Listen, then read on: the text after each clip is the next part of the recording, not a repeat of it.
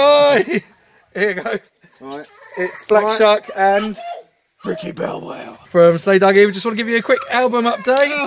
You can see, you can see we're working really hard here, finishing the album off. We've done 10 songs. We've got another six songs. to do. Six. We have got, yeah, another six. Four. Four. Number four.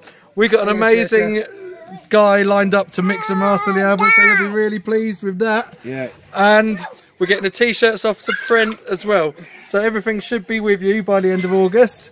Um, probably. Probably. But Probably. let's see. Who knows what will happen? September. Anything can happen. Hey, you boys, give us a wave. You give us a wave. You give us a wave. Ah, You give us a wave. Give us a wave.